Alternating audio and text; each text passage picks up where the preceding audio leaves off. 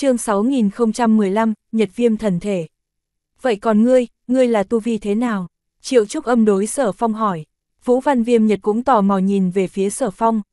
Bát phẩm bán thần, Thánh Long thần bào, bất quá ở chỗ này, còn muốn dựa vào hai vị bảo bọc ta. Sở phong cười nói, sở phong huynh nói quá lời. Kỳ thật, ta có thể có cái này tu vi, chính là may mắn. Tại thần thời đại cho ra tiểu bối đăng đỉnh chỉ thị về sau, ta thần thể thiên phủ liền đem tất cả tài nguyên nghiêng tại ta, ta mới có thể như thế nhanh chóng tăng tiến tu vi.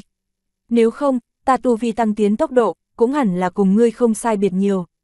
Vũ Văn Viêm Nhật, dường như sợ sở phong có tranh lệch, cố ý giải thích một chút hắn tu vi tăng tiến nguyên nhân.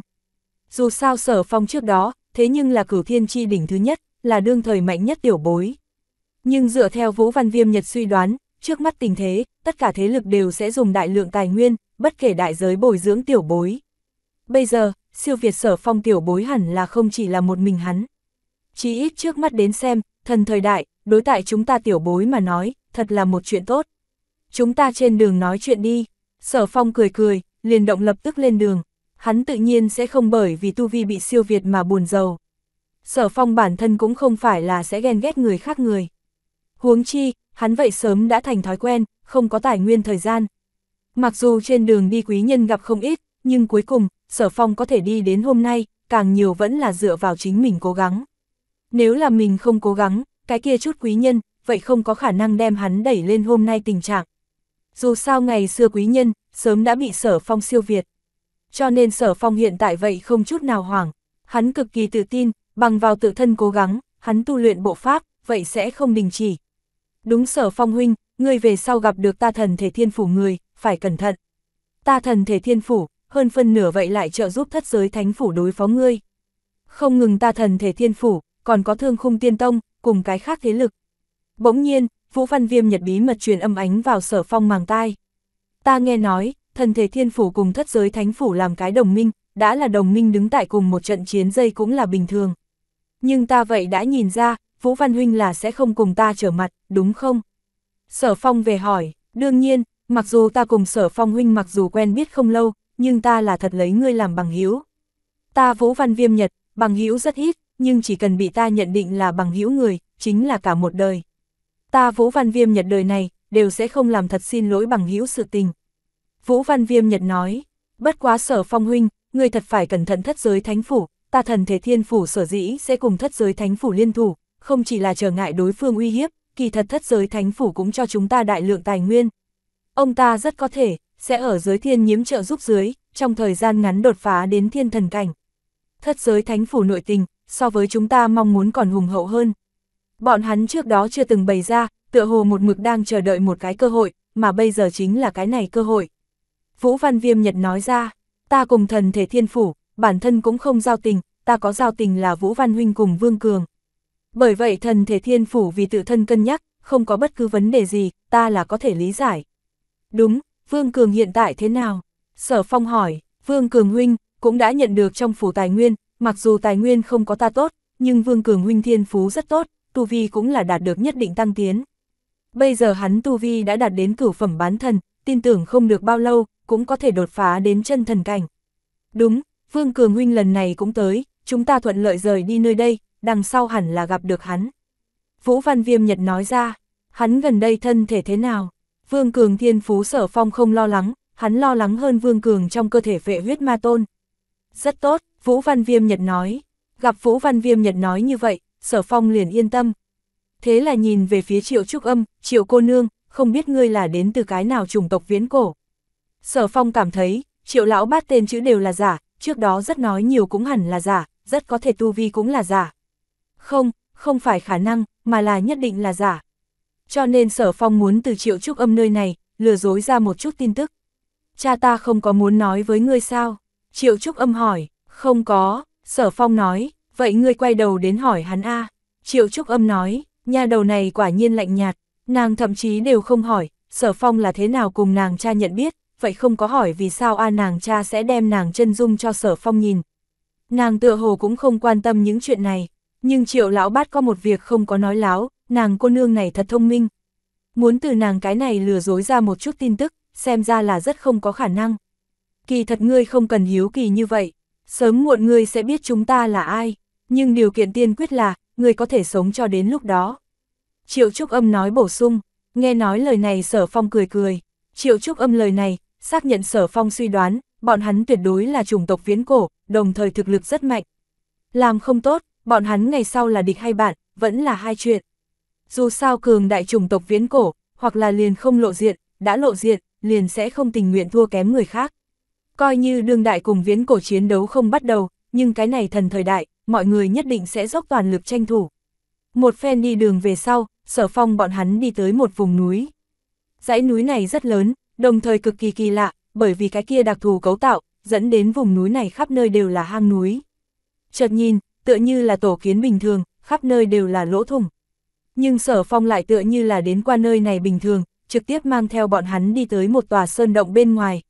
Bất quá sở phong, cũng không trực tiếp mang theo bọn hắn vào sơn động bên trong, mà là nhìn về phía bọn hắn.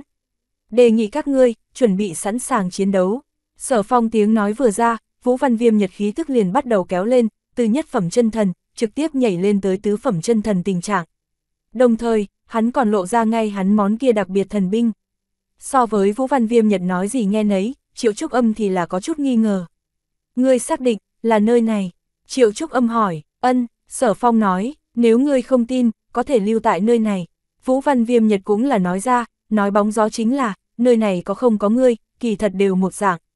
Triệu Trúc Âm không có trả lời, nhưng Tu Vi cũng là trong nháy mắt kéo lên, tăng lên tới tứ phẩm chân thần tình trạng về sau, còn đem cái kia đem màu vàng cự kiếm đem ra. Trực tiếp tiến vào trong sơn động, ầm ầm, nhưng nàng mới vừa tiến vào, một cỗ cường đại gợn sóng liền đương nhiên trong hang núi tàn phá bừa bãi mà ra, đồng thời còn có mãnh thú gào thét. Thấy thế, Vũ Văn Viêm Nhật vội vàng ngăn tại sở phong trước người, ngăn lại cái kia gợn sóng. Sở phong huynh, ngươi lưu tại nơi này, để ta tới xử lý yêu thú kia. Vũ Văn Viêm Nhật nói, Vũ Văn huynh, cẩn thận một chút, sở phong biết, hiện tại hắn chính là một cái vướng víu, đồng thời hắn tin tưởng Vũ Văn Viêm Nhật, liền không có ý định đi vào. Thấy thế, Vũ Văn Viêm Nhật trực tiếp vọt vào, mà sở phong thì là ngự không mà lên, đồng thời hướng nơi xa thối lui. Chiến đấu này vừa mới bắt đầu, sở phong cảm thấy đằng sau tràng diện khả năng sẽ càng thêm kịch liệt, hắn cái này tu vi, vẫn là trốn xa một chút cho thỏa đáng.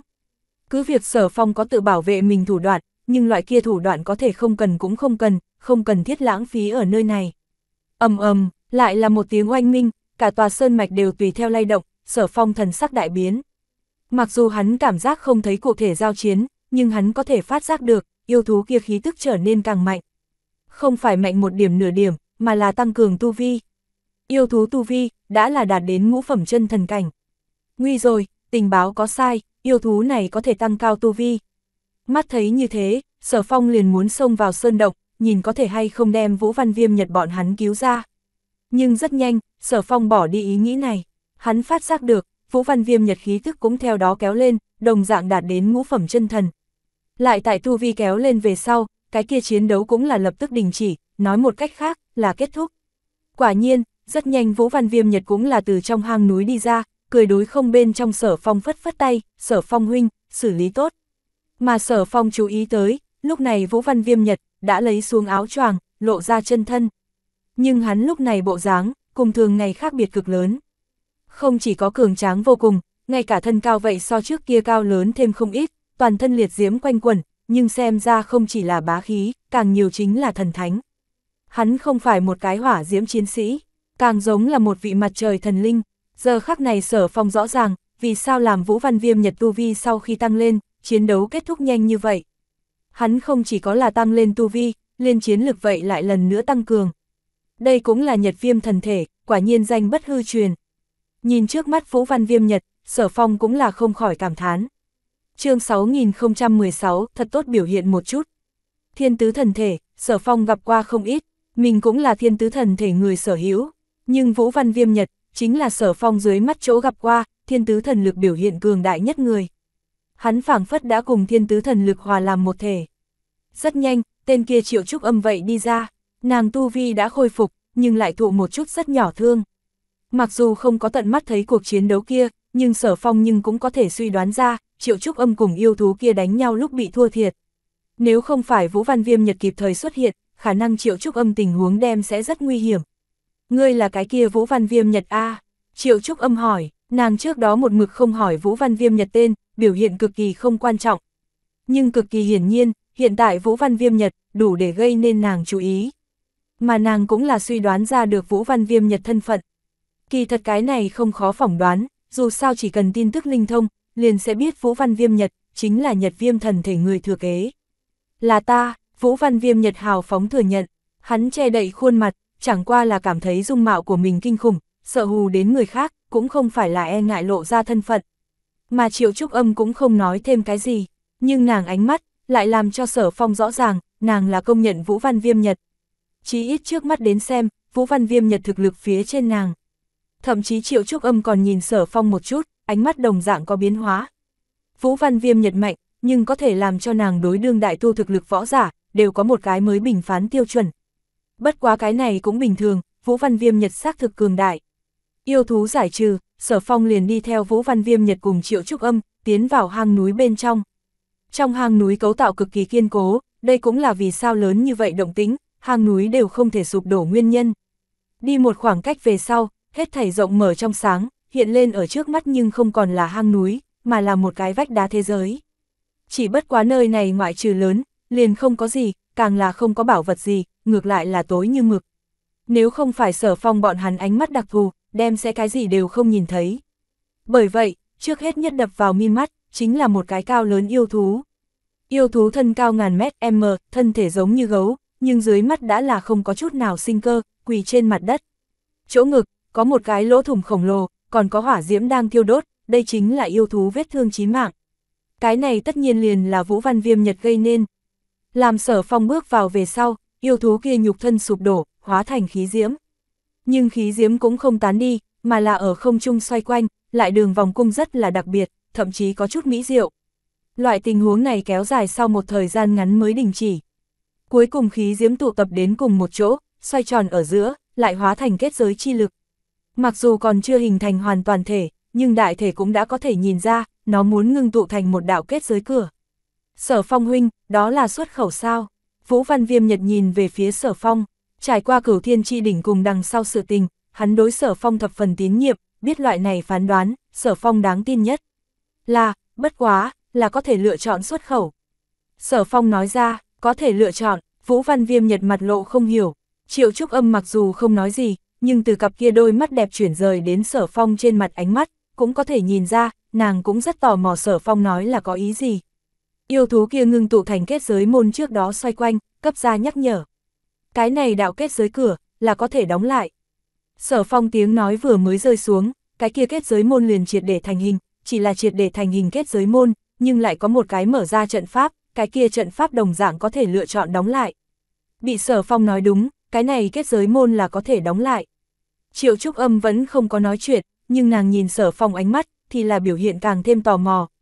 Nàng rất hiếu kỳ, sở phong là thế nào xem thấu, bởi vì nàng trước đó, cái gì đều không nhìn ra. So với Triệu Trúc Âm, Vũ Văn Viêm nhật đối với sở phong phỏng đoán thì cũng không kinh ngạc, hắn sớm liền kiến thức qua sở phong năng lực. Hắn trải nghiệm là, cùng với sở phong phá giải loại này di tích, liền là hai chữ, nhẹ nhõm. Rất nhiều nguyên bản khó mà phá giải vấn đề, đều sẽ trở nên đơn giản. Sở phong huynh, vậy chúng ta nên làm như thế nào? Vũ Văn Viêm Nhật hỏi, mở ra, có thể trực tiếp thông qua cái này kết giới môn rời đi nơi này, nhưng tất nhiên sẽ bỏ sót cái gì. Mặc dù ta cũng không biết, cự tuyệt về sau có thể có được cái gì, nhưng ta cảm thấy đây là một cái cơ hội. Đương nhiên, hiện tại ba người chúng ta người, đánh lui yêu thú này là các ngươi hai cái công lao. Cho nên, ba người chúng ta tỏ thái độ đi, thiểu số phục tùng đa số. Sở Phong nói, vẽ vời cho thêm chuyện ra a nghe người ý tứ, là phải đóng lại kết giới môn. Vũ Văn Viêm Nhật, khẳng định cùng ngươi giống nhau lựa chọn, vậy ta biểu quyết còn có ý nghĩa sao? Trầm mặc hồi lâu Triệu Trúc Âm rốt cục mở miệng, Triệu cô nương nói cực phải, đã như vậy, vậy chúng ta cũng coi như ý kiến thống nhất. Sở Phong cười hắc hắc, liền đi tới cái kia kết giới môn trước. Triệu Trúc Âm không nói gì, kỳ thật lúc đầu nàng vậy không có ý định cự tuyệt.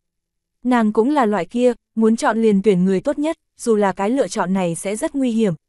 Sở Phong đi vào kết giới môn trước, thôi động trận pháp, lựa chọn đem kết giới môn đóng lại. ầm ầm, một lúc sau, cái kia kết giới môn đi tứ tán, hình thành càng cường đại hơn kết giới chi lực, giữa không trung xoay quanh. Thậm chí lần này kết giới chi lực, phát ra tia sáng. đem cái này nguyên bản sơn hắc nham động thế giới, đều chiếu rọi như ban ngày bình thường sáng tỏ. Giờ khắc này, sở phong, vũ văn viêm nhật, bao quát triệu trúc âm, đều là mắt lộ ra mong đợi. Cái tràng diện này, bất luận nhìn thế nào, đều là có chuyện tốt phát sinh. Nhưng rất nhanh, cái kia kết giới chi lực bay thấp như sau, lại hình thành kết giới lồng giam, đem ba người bọn họ phong tỏa tại trong đó. Gặp tình hình này, Vũ Văn Viêm Nhật phản ứng đầu tiên, chính là phá trận, thế lão anh một tiếng, liền đấm ra một quyền. Phải biết, hắn tu vi còn chưa khôi phục bình thường trình độ, dưới mắt vẫn là sau khi tăng lên ngũ phẩm chân thần. Một quyền này của hắn, uy lực cực mạnh, hỏa diễm dâng trào, phảng phất có thể đốt diệt hết thảy. Nhưng khi hỏa diễm tán đi, Vũ Văn Viêm Nhật lại là mày nhân lại, hắn một quyền kia chỗ oanh qua vị trí, đúng là lông tóc không hư hại. Đây là một cái tín hiệu, đang nhắc nhở hắn, cái này phong tỏa kết giới, không phải bọn hắn có thể ứng đối. Rất nhanh, kết giới lồng giam triệt để thành hình, trận pháp bên ngoài còn xuất hiện một trụ đang thiêu đốt hương. Cái kia hương rất lớn, nhưng cái này thiêu đốt tốc độ, trong vòng một ngày đem sẽ triệt để đốt cháy sạch sẽ. Đây cũng là một cái tín hiệu, là một loại đếm ngược. Về phần hương tận thời điểm sẽ phát sinh cái gì, liền không được biết rồi. keng keng keng keng nhưng vào lúc này, bốn phương tám hướng kết giới vách tường đồng thời biến hóa, hình thành từng đạo bén nhọn gai nhọn. Lúc trước còn không biết hương tận kết thúc lúc, sẽ phát sinh cái gì ba người, hiện tại đều có suy đoán. Chỉ sợ hương tận thời điểm, không cách nào thoát khốn, ba người bọn họ liền lại biến thành thịt nát. Sở phong huynh, cái này phải nhờ vào ngươi. Vũ Văn Viêm Nhật nhìn về phía sở phong, bởi vì đối tại tình huống trước mắt, hắn là không có biện pháp nào. Yên tâm, mặc dù xác thực cần một chút thời gian, nhưng nhất định có thể mang các ngươi ra ngoài. Sở phong tràn đầy tự tin, nhưng triệu trúc âm lại mắt lộ ra hồ nghi, bất quá nàng không nói gì, mà là nghiêm túc quan sát. Nàng là thật tài phái, không thích nói nhảm, loại tình huống này ngồi chờ chết, nàng cảm thấy còn không bằng dựa vào chính mình. Nguyên nhân chính là như thế, ngay cả ánh mắt đều trở nên đặc biệt. Nàng biến hóa, bị sở phong phát giác, triệu trúc âm, nguyên lai cùng nàng cha một dạng, cũng là giới võ song tu, lại kết giới chi thuật trình độ đồng dạng không thấp. Cứ việc nàng cũng không bày ra kết giới chi lực, nhưng sở phong suy đoán, nàng hẳn là cùng mình một dạng, cũng là một vị thần bào đỉnh phong. Chỉ thiếu chút nữa, liền có thể bước vào chân long giới linh sư liệt kê. Đồng thời triệu trúc âm quan sát phương pháp, rất mạnh, là rất đặc biệt, vậy rất lợi hại quan sát phương pháp. Loại trình độ này, kỳ thật tương đương đáng sợ, sẽ để cho minh mông tu võ giới đại bộ phận thiên tài, trở nên ảm đạm vô quang. Không thể không nói, cùng Vũ Văn Viêm Nhật cùng Triệu Trúc Âm cùng một chỗ, ngay cả sở phong đều cảm nhận được một chút áp lực. Cũng không phải tự ti, mà là không muốn làm một cái đầu đường xó chợ. Nhất định phải thật tốt biểu hiện một chút, thầm than qua đi, sở phong cái kia quan sát ánh mắt, so với thường ngày cũng thay đổi càng thêm nghiêm túc.